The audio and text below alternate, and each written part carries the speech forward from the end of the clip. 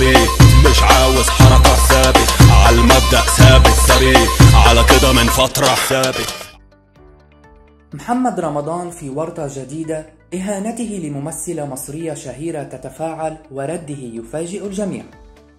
وقع الفنان المصري محمد رمضان بورطة جديدة بعد ما كشفت الممثلة المصرية وعضو مجلس الشيوخ المصري سميرة عبد العزيز عن تعرضها للإهانة والشتم من قبل محمد رمضان.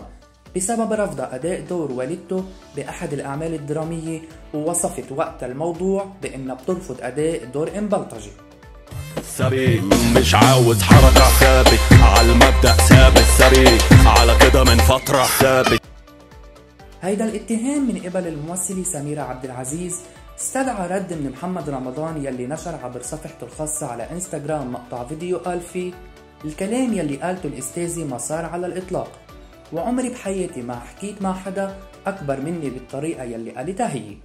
وعلق محمد رمضان على الفيديو وقال حق الرد على كلام الأستاذة سميرة عبد العزيز مع كامل احترامي وتقديري إلها حق الرد في قصة الأستاذة سميرة عبد العزيز الكلام اللي قالته الأستاذة لم يحدث على الإطلاق. والموضوع ما وقف عند هيدا الحد.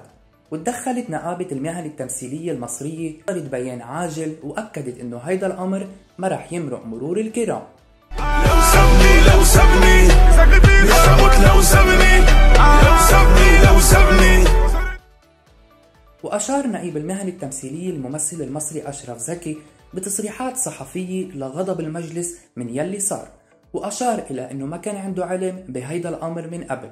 وأنه في قرار بإرسال اعتذار رسمي للممثلة سميرة عبد العزيز عضو مجلس الشيوخ المصري وبحث تفاصيل الواقعة والتحقيق فيها. وكانت الممثلة سميرة عبد العزيز كشفت بأحد لقاءات الصحفية مؤخرا عن تعرضها للإهانة من النجم محمد رمضان بعد رفض دور والدته بأحد الأعمال الفنية يلي قام ببطولتها. وقالت فضحني لما رفضت أدي دور والدته. وفي ناس شتموني وأنا ما حكيت. بس هو قلل أدبه وقال لي يا شحادة أنا باخد 20 مليون وأنت بتاخدي 20 ألف جنيه. هو قال لي ادبه وقال لي يا شحاتة أنا باخد 20 مليون وأنت بتاخدي 20 ألف.